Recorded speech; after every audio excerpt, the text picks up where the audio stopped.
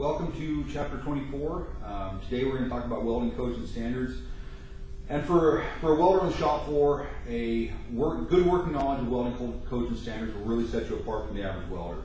Um, you won't believe how many welders, designers, even engineers think they know what the code says. And that can be very, very expensive, and even dangerous when it turns out they're wrong.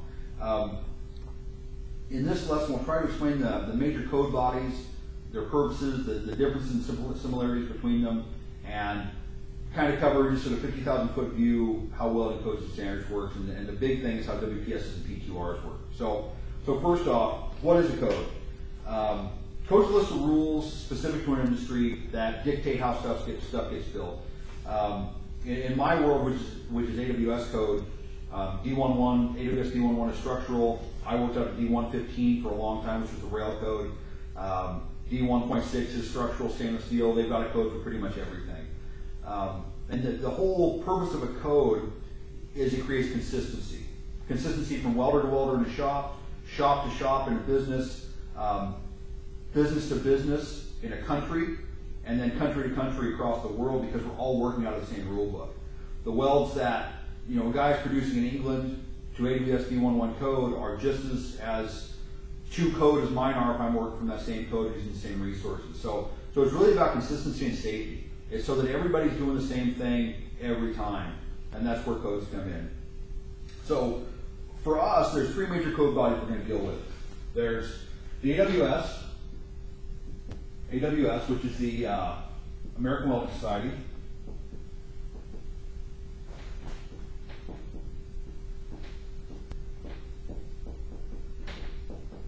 There's going to be ASME, ASME, the American Society of Mechanical Engineers. And there is going to be API, and that is the American Petroleum Institution.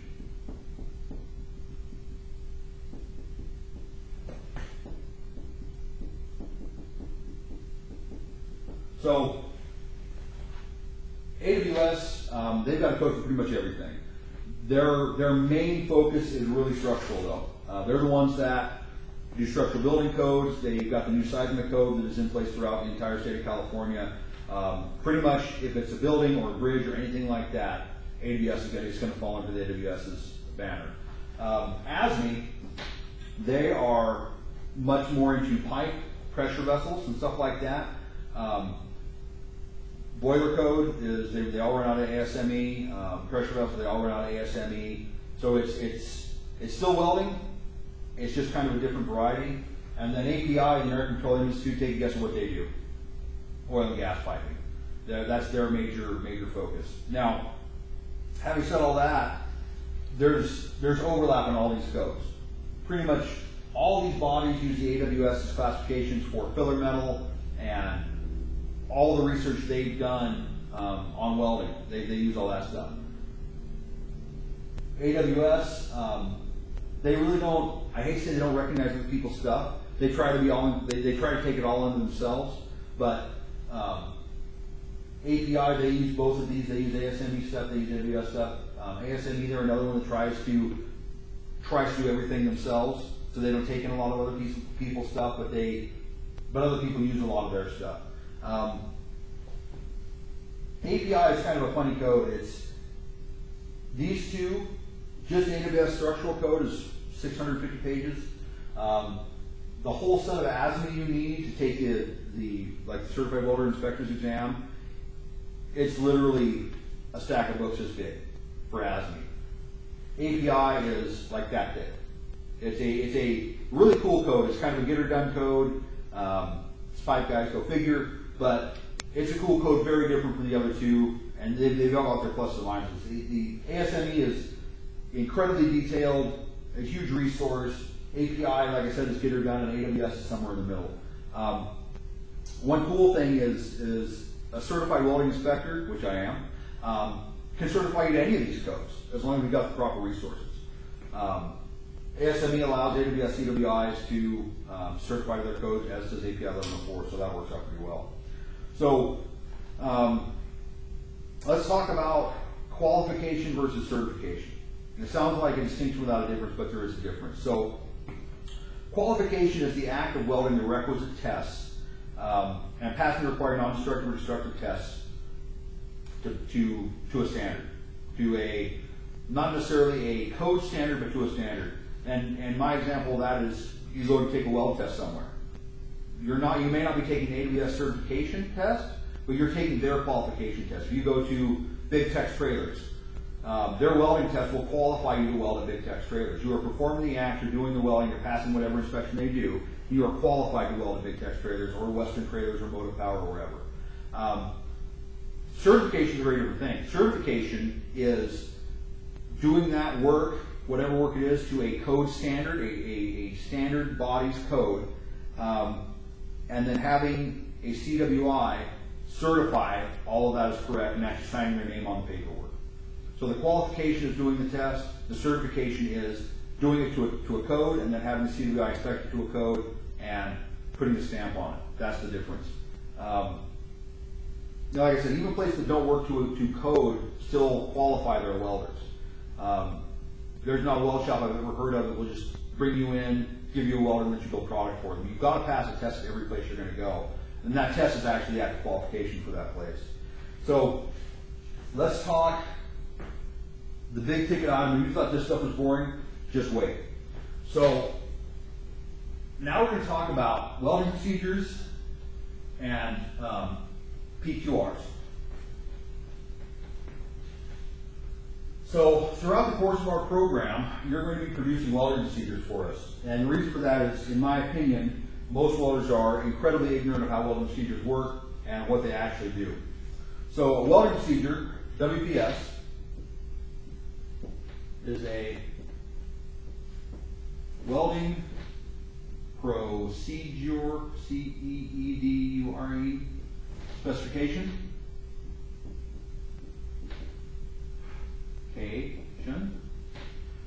And that is a recipe for a well.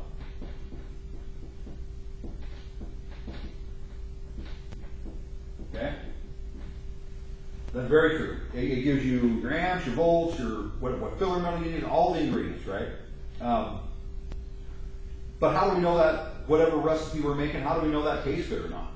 Well, we do that with the PQR, and that happens before we actually write the WPS. So a PQR is a procedure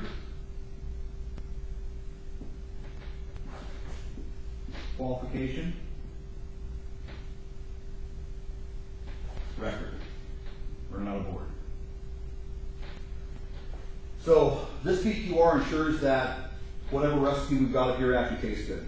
Okay? And and what happens is how, how this works is let's say I'm trying to join two materials that I haven't joined before. Let's say I'm trying to weld um,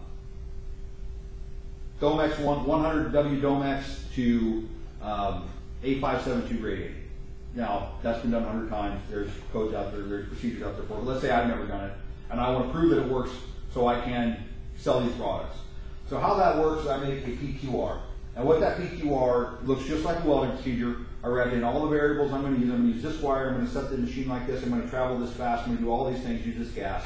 Then after I get done with, I produce a weld test, pretty similar to an, an AWS weld test. It is an AWS weld test. It's just it's on a bigger scale.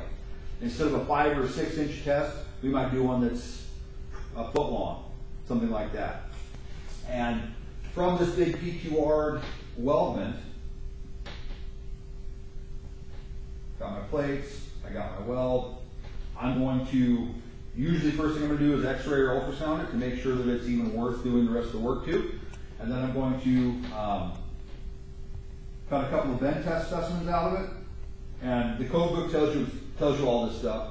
I'm going to cut, cut a couple bend test specimens out of bend them, and I'm going to cut a couple of tensile specimens out and send them off to the lab to get pulled. And the whole purpose of this is to show that my welding procedure, the recipe I got, makes this metal at least as good as the base metal. I didn't make it any weaker by welding on it. Ideally, when we bend these, they bend fine. When they pull these tensils, they pull stronger than the base metal. And if that's the case, um, my PQR passed.